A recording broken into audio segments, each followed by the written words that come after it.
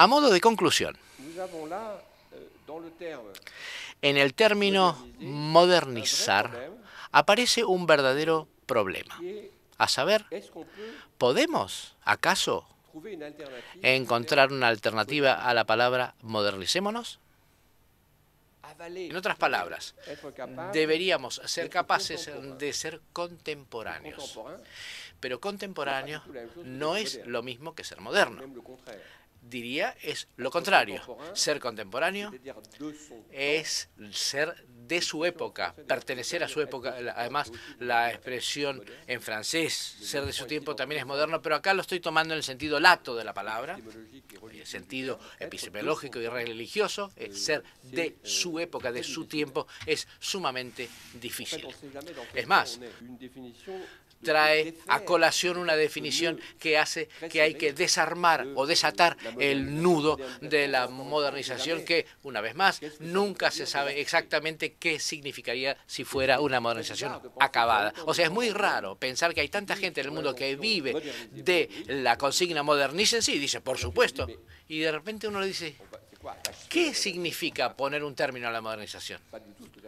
No sé qué significa tratar de entender lo que ocurre con las personas que toman una, toman una consigna tan contradictoria y tan eh, desdibujada y que define en qué tiempo vive y sobre todo en qué espacio viven. Es pues la cuestión antropológica por antonomasia y es justamente la parte que nos interesa. Y para desatar el nudo, como le decía, y es lo que traté de hacer con la encuesta sobre los modos de existencia, la investigación sobre los modos de existencia, habría que cambiar varias cosas. La primera es la que mencionó Cecilia, a saber, la definición de las ciencias. El paso de la ciencia con una C mayúscula a las ciencias con C minúsculas. Y aparece un caso muy lindo sobre el cual está trabajando Cecilia, yo también estoy trabajando en el mismo tema, que es la ciencia del clima, que ha sido atacada por argumentos de índole epistemológica y que poco a poco los climatólogos se dan cuenta que no hay que recargar las tintas, como lo decía Cecilia, con tanto peso, una mochila tan pesada si uno quiere lograr la objetividad pero no la modernización.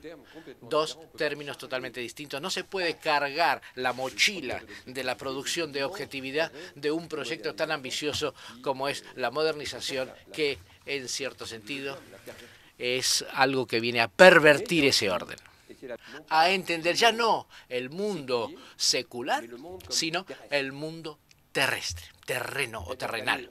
Es decir, ir a buscar a las tradiciones que son tradiciones cristianas y que son las que yo conozco, el vínculo entre lo religioso, no ya con lo espiritual, que es una suerte de error de maniobra, sino a lo terrenal.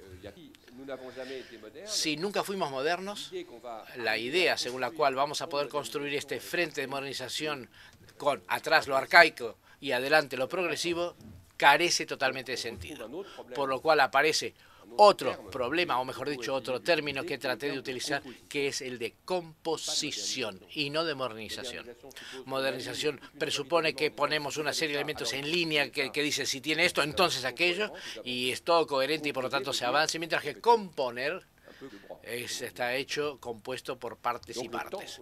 Por eso que el tiempo y lo último es la relación al espacio. Esta relación con el espacio es, creo, el rasgo más fácil de entender.